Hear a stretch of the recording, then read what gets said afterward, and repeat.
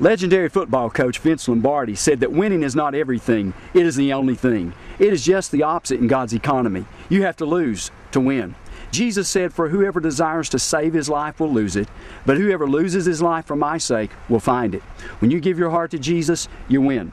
Jim Elliot said, He is no fool who gives what he cannot keep to gain what he cannot lose. A life lived for Christ is more valuable than a life lived for oneself. Be a winner. Live for Jesus.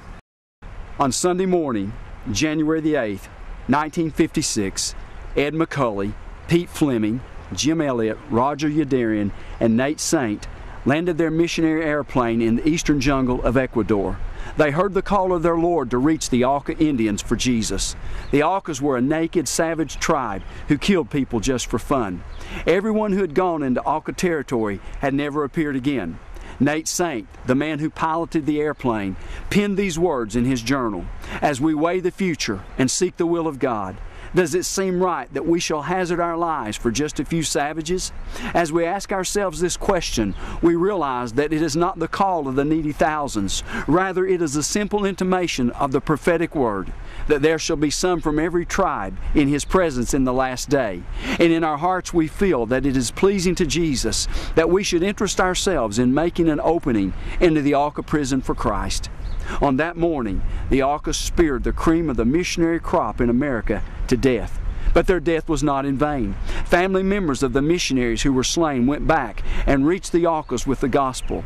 Today, they're no longer a savage tribe. This is how a winner lives. Jim Elliot penned these words before he gave his life for Jesus. When it comes time to die, make sure that all you have left to do is die. Are you ready to die? I want you to pray with me right now to accept Christ as your personal Lord and Savior, and you'll know that you're ready to die. You just pray this prayer with me right now. Dear Lord Jesus, I know that I'm a sinner and I need your forgiveness. I know that you died on the cross for me. I repent. I turn from all my sins. Please forgive me.